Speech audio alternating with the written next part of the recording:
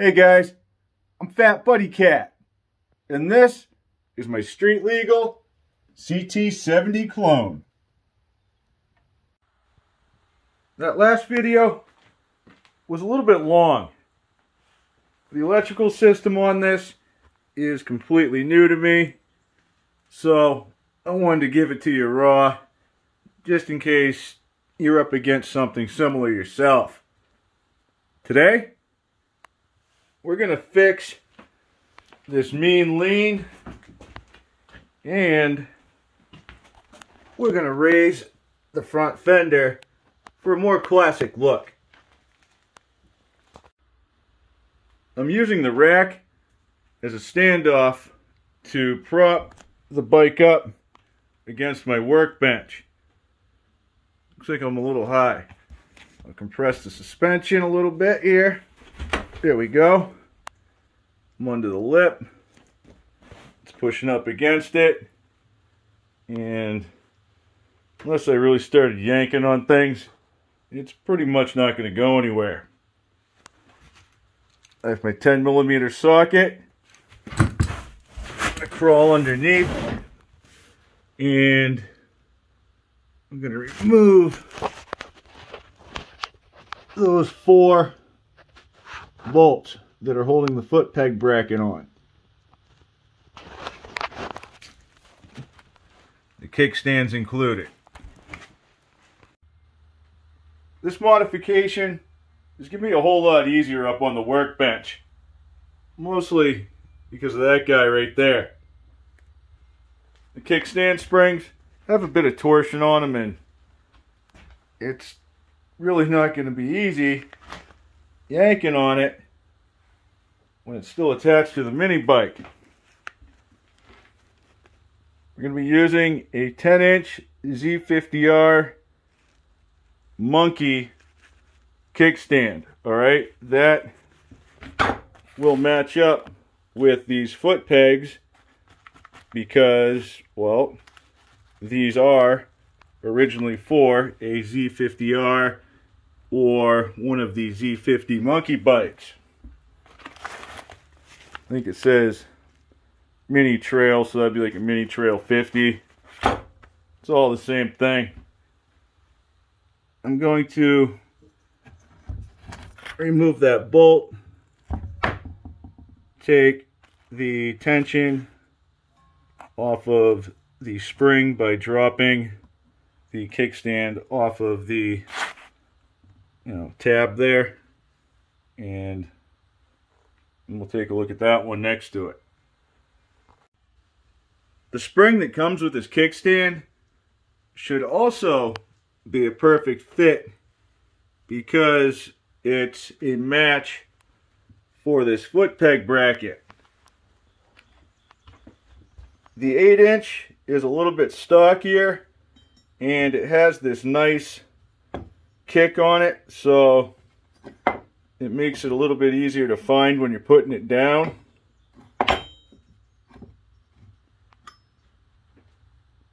Oh well. We're going to have a higher tension spring and the bike won't be leaning over. So this is going to be completely worth it. I just loop my spring up and over just like so. And now I'm lining up the holes. That way I can thread the bolt through. I'm not going to use the short one. I'm going to use the long one that came with, I don't know, I think it was the factory kickstand. It was on this bike.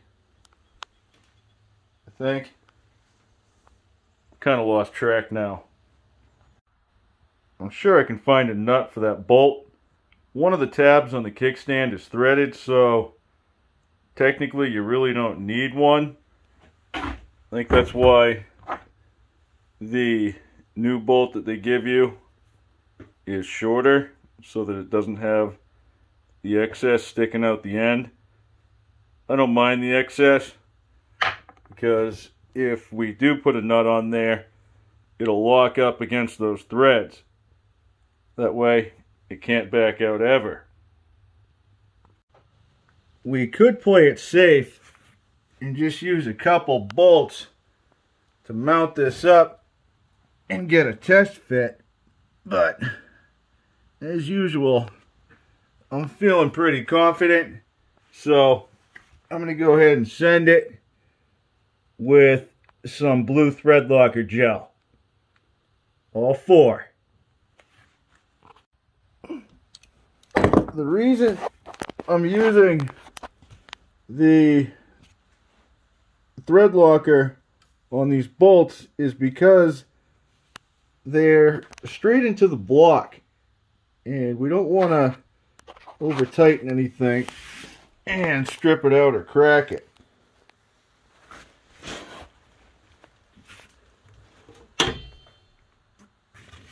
That, it almost touches the ground even leaning up against the workbench.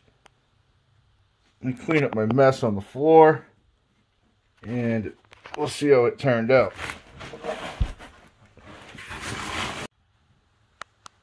It stands up absolutely perfectly. However,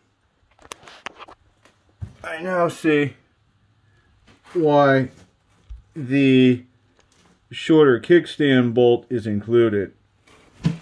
If the threads go through on the bolt, they can catch the spring when you try to fold it up. So I'm gonna have to swap that out. Oops. Didn't see that coming.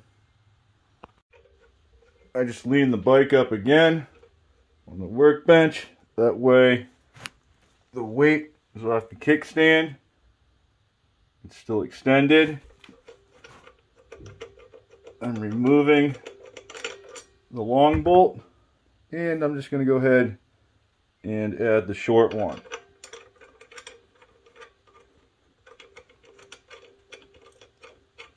I believe it's going to be a different size socket. This one was a 5 8 Yep. Let me grab the right one. Actually, yeah, that doesn't fit. I don't have to go overly tight here. Just want to make sure that we're threaded all the way in. And then some. Turned out to be a 15 millimeter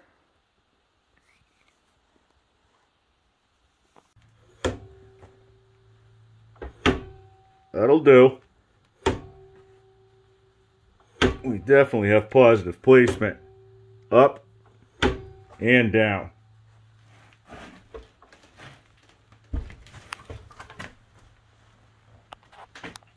Now, we have to remove the front fender. I think I only have three of the bolts actually holding it on. They're really hard to see because currently the fender only sits about an inch off the tire.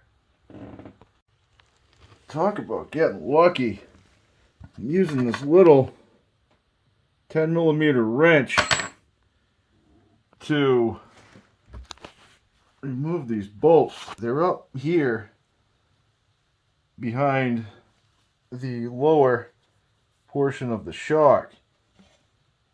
This one was so tight backing out up against that tire. I thought I almost had to remove the wheel. I did get it though. Going to remove this. Of a tight squeeze. To be using one hand. Alright. And I do believe for aesthetic purposes we're going to be cutting the old tabs off. I might not actually have to cut anything. These tabs are just tack welded to the fenders.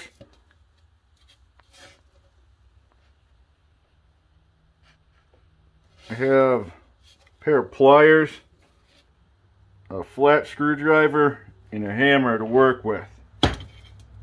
So far, I just bent it down and a good portion of the weld has already released. I give it a few wraps with the hammer and if that doesn't work I'll chisel it up with a screwdriver.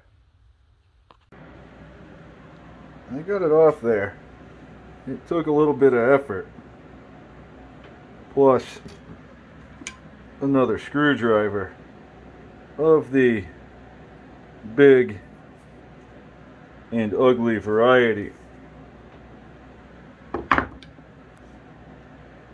Next, we're going to need the directions.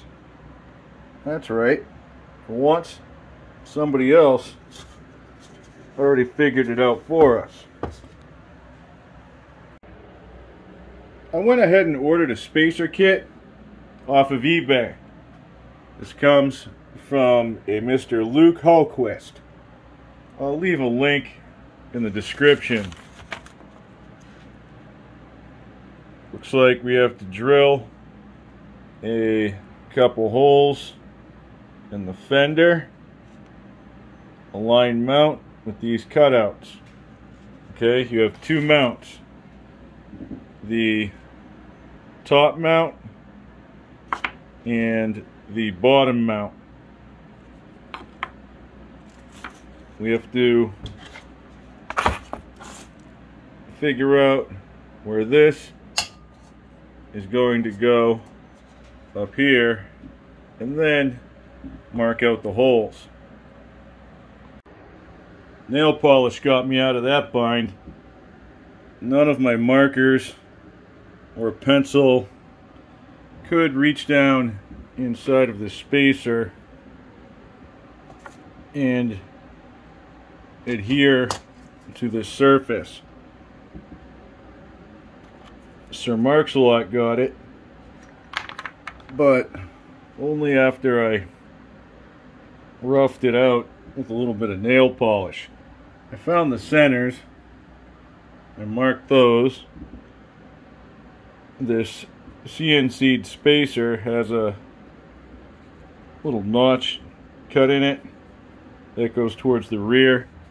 We know the rear of the fender has that little plastic extension.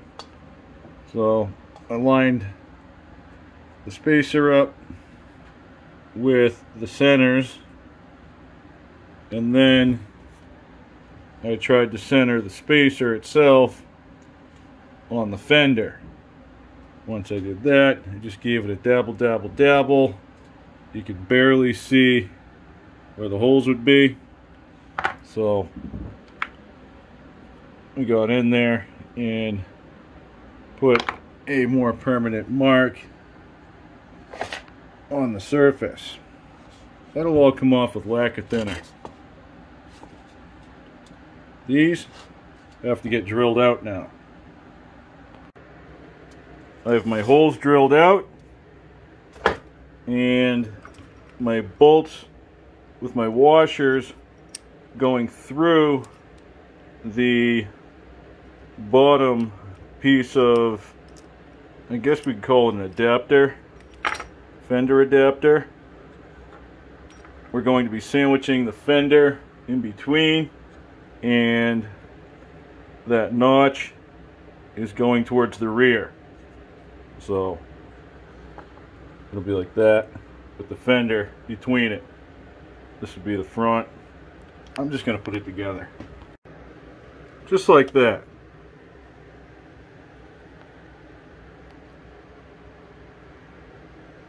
These two bolts are going to get threaded into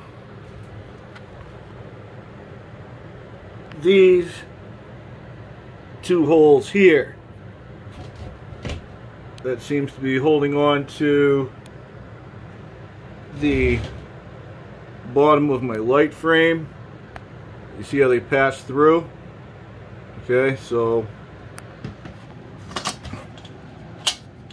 hopefully those will be replacing them once I take those out and send these home. Here I am, all tightened up, and look at that. There's my bolts happily coming through. Mr. Luke, you, sir, are a genius. It sits perfectly between the tubes or as close to perfect as it needs to be. It sits really, really level. This is awesome. I'm glad I went this route.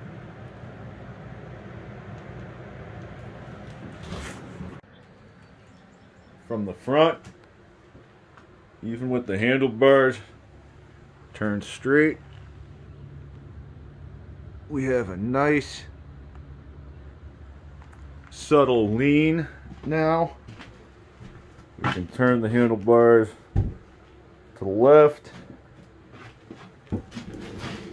or the right. No matter what. The bike is a whole lot more stable than it was before. When you're installing this fender relocation kit, you can try a few different angles on the dangle. Personally, I like this nice, classic, playful look that we've achieved. The fender has those notcherinos that line up with the fork tubes. If you try to pull it forward to angle the front down to match the rear, then you start to see those more and it doesn't look factory at all. It also starts to throw off the mud guard, which actually does a very good job at keeping debris off the engine as long as it's in the right place. I have so much to do and so many projects to catch up on. We still have the live axle for the CT100 and more upgrades for the BT200X. But I still want to show you this parts bike I picked up before it has even less parts on it. Believe it or not, this is a runner. Or at least it was.